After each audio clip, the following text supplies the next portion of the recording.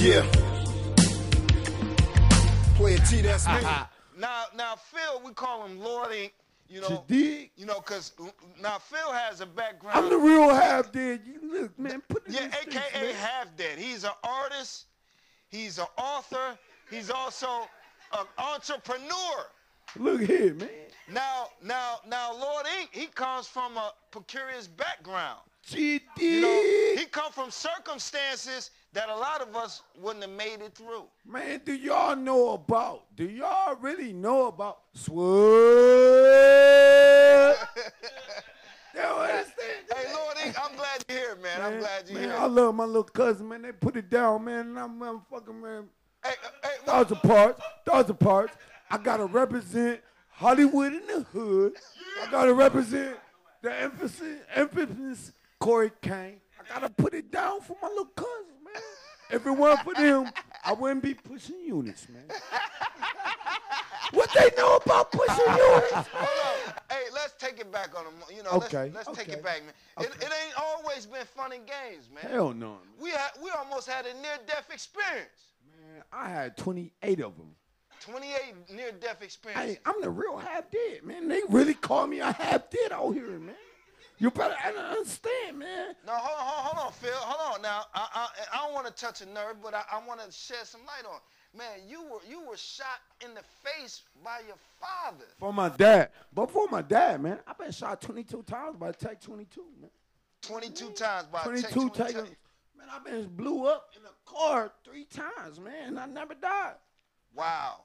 Y'all ever heard of a cat having nine lives? Well, this Man, cat, this cat ain't got nothing like on me, man. 24 lives or Man, something put like that cat, put that cat in the Now, corner, hold man. on, hold on, man. Hold on. To go through so much, uh, wow, to go through so many trials and tribulations dealing with violence to that magnitude, being shot several times, being shot by your own father, man. I mean, to to get past all of that, man, to get over that and to do what you're doing now, becoming an entrepreneur, you know, organizing, organizing guys. He run, he has a whole team of guys, like at least 20 of them.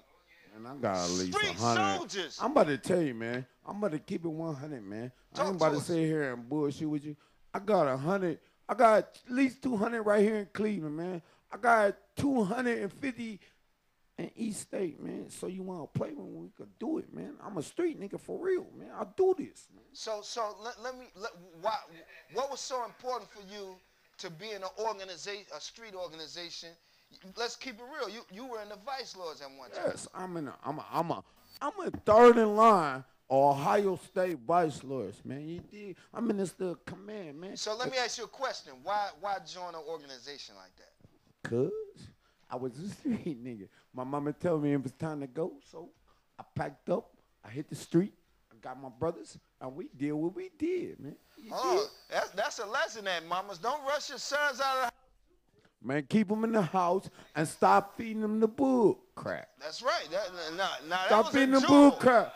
Show 'em- tell them what's really real out here. Y'all try to hide it, and when you hide it, they want to go fight.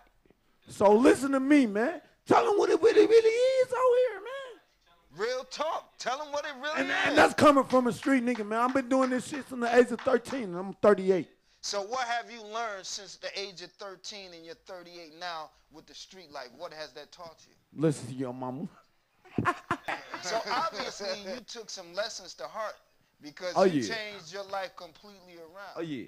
Both my kids, man, I had two kids, man. I had two kids at the age of 19, man. I went to Cleveland Job Corps. The one now is Double Tree now, but that's the original Job Corps. I went to Job Corps in 90, I graduated in 92. I sent my kids to college in 2006. You hear me? Yeah. Give Oh, it I- up. Hey, I'm gonna keep it real. How many niggas, how many brothers out here owe, only owe $1,800 on child support? they think it's a game. We're not a game, man. We're a fucking nation, man. We all over the world. Don't get it twisted, man.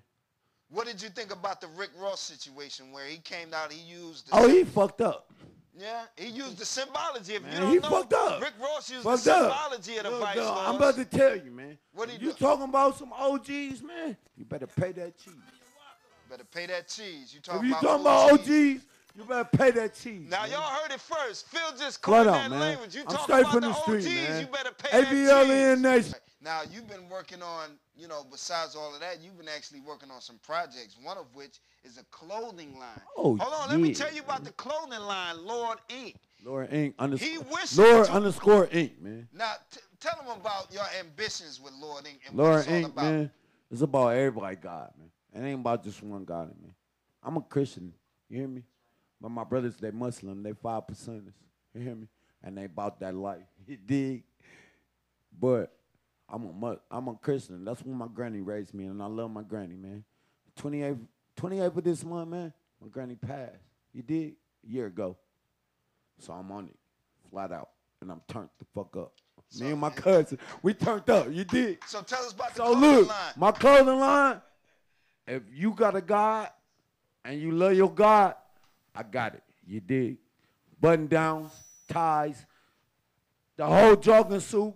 You could take off a shirt and you still be looking like your God. You dig?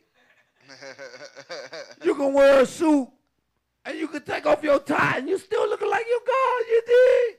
Now, now, now, tell them why. Tell them why you came with the line and what you intend to do with people that's gonna work with this stuff. You know, putting it together. You know, Well, look here. employing. I got guys. brothers and sisters out here.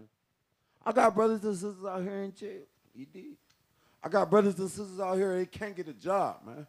I got brothers and sisters out here because they felons. Everybody look at them school face. You did. Ain't about that, man. Ain't about that with me, man. We gonna get this money, man. If I can't get you in this clothing line, I got some houses we can remodel. That's I got right. some houses we can thing, remodel. what they need to know about Lord Ink. and Phil that they didn't know before. family. Family and taking care of your family, man. Whatever sucker you make, man, you got that's your family, man. You gotta take care of them. So that's what we're gonna do. We gonna ball. We gonna ball till we fall, man.